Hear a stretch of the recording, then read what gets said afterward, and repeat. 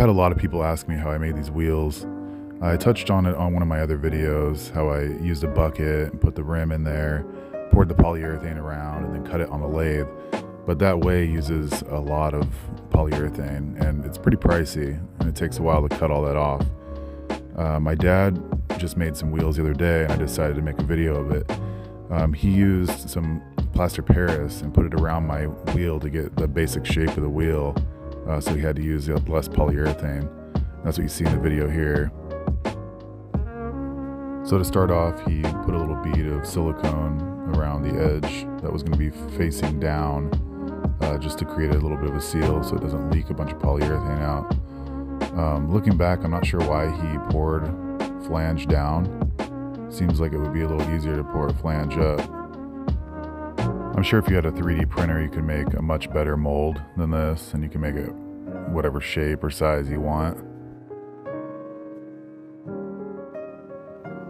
Here's the polyurethane I used. It was Flexit 90 from a company called SRC. Um, good stuff, really strong. Haven't had any issues with it.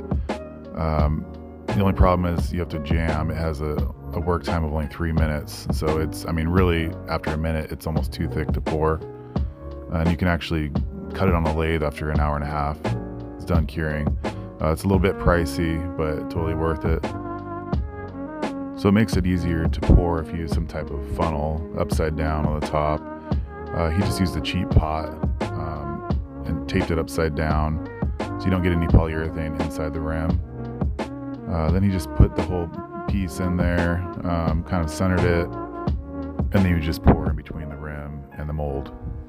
Uh, he used blue dye. Uh, they have several different colors. Uh, the weird thing that we noticed after um, we use this blue is it actually turns green in the sun. So keep that in mind. So you start by pouring in resin and then you add in the color. Um, this color was kind of tricky to get out of there. We had to use a screw to kind of pull some of it out. You only need a few drops of it. Then you mix that in. Uh, once that's all mixed up, then you add in the hardener. Uh, you have to be careful because once you add that hardener, um, you only have about 10 seconds to mix it up and you got to start pouring quickly. And so we just took a guess at about one liter of each. It's one to one mixture on parts A and B. Uh, so we had about two liters of total mixture, and that was pretty good for each of these wheels. Um, he was only making two wheels. Uh, he had made two previously and ran out of polyurethane.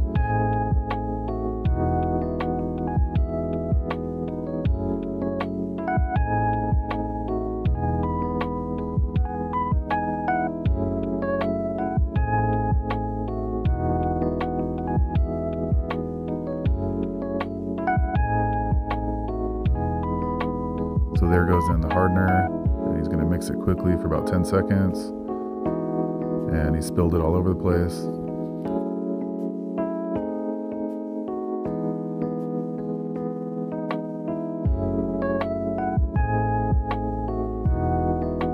And yeah, this part would have been much easier if it was flipped over and he poured it flange up. So I'm not sure why he went flange down. Uh, kind of seems like a no-brainer now that I think about it. Uh, but you can see it's already kind of thickening up. Um, so you just kind of jam and just try, I mean, it's going to spill. Um, but we used this two liters and there was a little bit left over.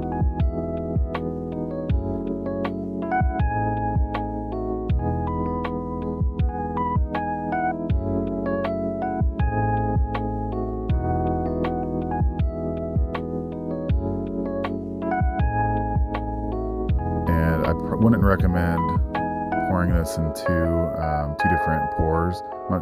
He poured that in there. I told him not to do it uh, because you'll see when it's done, there's a little separation. Um, it's not that big of a deal. I have separations on, I think, two of my wheels, and it, it hasn't gotten any worse. Uh, it doesn't do anything bad. It just kind of looks, kind of looks sloppy. And I'm, pushing down on the pot and i figured it was at this point it was okay to lift my hand up but as soon as i lifted it the pot kind of stuck to my thumb and pulled up so some of the polyurethane went underneath the rim and i don't know if you can see but the level dropped right there so we ended up having to mix a little bit more on this on the second pour for the second wheel and just kind of finish this one. And after he did the wheel, you'll see later in the video there is a little bit of a separation, and I think it was this wheel um, from that little instance there.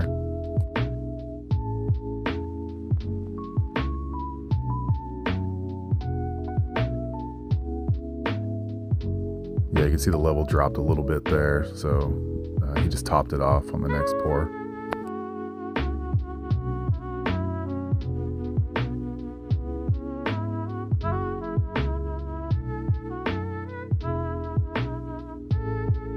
One of the issues with this polyurethane is it hardens so quickly. You can't really do anything about the air bubbles that you might get in it because uh, you have to pour it so quickly. Um, afterwards, he did have a couple air bubbles in there, and we, we saw when when he put it on the lathe. Um, you'll see later in the video. I will point that out. Um, it doesn't. It's not a big deal. Mine have little air bubbles in it. It you don't feel it when you're riding. It hasn't affected the wheel at all.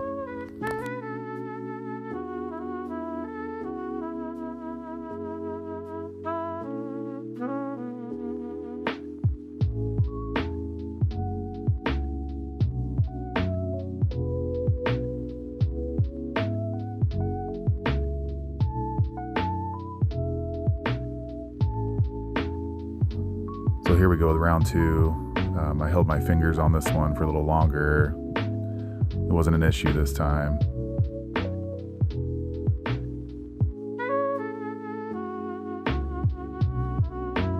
And it's tricky because you, you want to pour it quickly because it's hardening on you, but you also want to go slow because you don't want to get a bunch of air bubbles and an uneven pour. Um, this is where he topped it off, and I'll show you in the, the video later. There was a little bit of a separation in the wheel.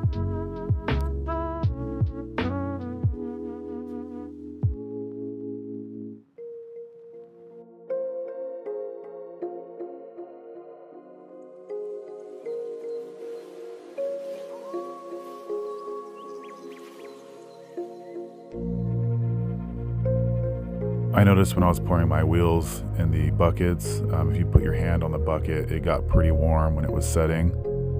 Um, not so much that it would burn you, but it's noticeably hot.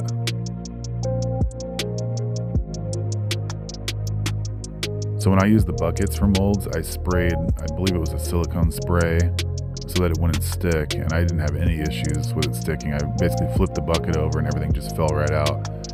Um, this plaster Paris was completely stuck to this. I don't know if any spray would help at all. Um, so it took him a while to just kind of rip this thing apart.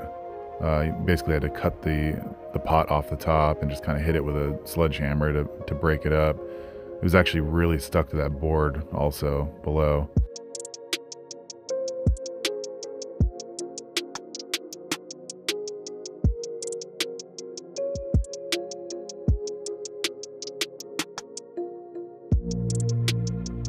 They came out pretty good, actually. Pretty good looking. He has a lot of stuff stuck to him, but that comes right off on the lathe.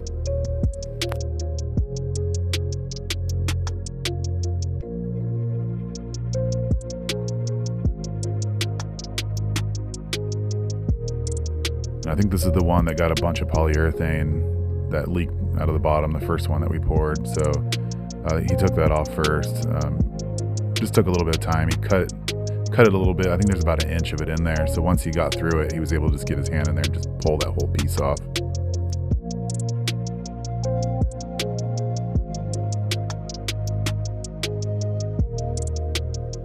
So my flange is about one inch by one inch. Um, haven't, I haven't had any issues with it. Um, I rarely derail, and it's usually something seriously wrong with the rails, or I hit some, you know, a rock or something. Um, it's really rare to, to, derail with that flange. Um, so he did the same, about one inch by one inch. Also, you want to make sure you have a little bit of an angle on your wheel um, so that it's a almost a cone shape. Uh, maybe I think it's like three degrees is what you put on there. I'm not sure off the top of my head, but just a little bit of an angle so that the, the rail stays in the middle of the tire of the wheel, basically, kind of like a, a real train wheel does it's really that angle of the wheel that keeps you on the tracks, not so much the flange. The flange is just there as a secondary uh, to keep you from derailing, but it's really the, the shape of the wheel.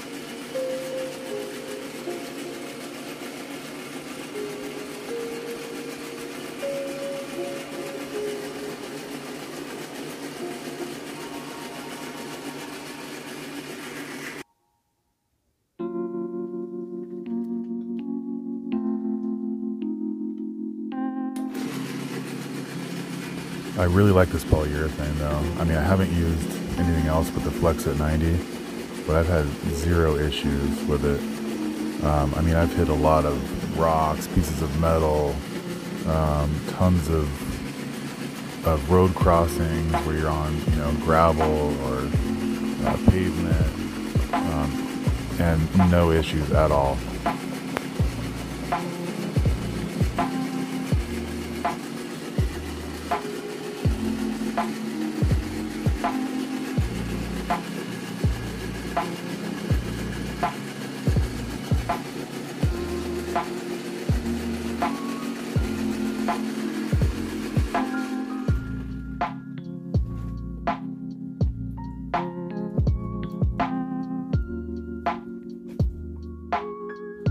For some reason in my videos, people always think my wheels are, are metal for some reason. I'm not sure why. Um, I've tried metal wheels and it was horrible. It was super loud, um, really rough. Uh, with this polyurethane, it's just smooth. I mean, and I've also seen people, seen comments where people will say, oh, you need suspension. Uh, you really don't. it's not bumpy at all. I mean, you're talking about rails that are really smooth. Even the worst old rails are really smooth with these wheels.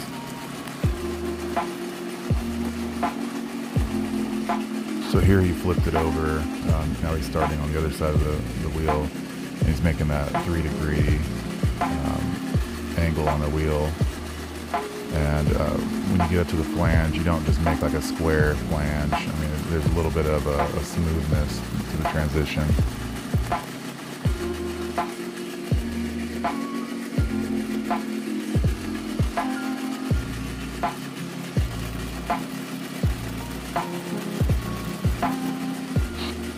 All this plaster of Paris that's left over on here just comes right off, like you can see in the video here. Uh, it just cuts right off, no problem.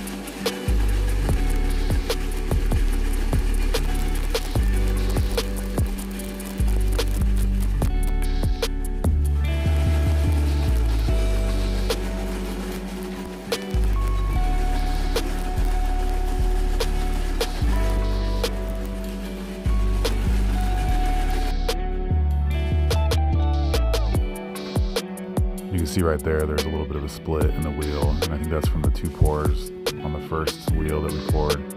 Um, but it's not an issue. I mean, mine look like that too. I think two of mine look like that. It does have a, a little leftover air bubble there that you can see at the top.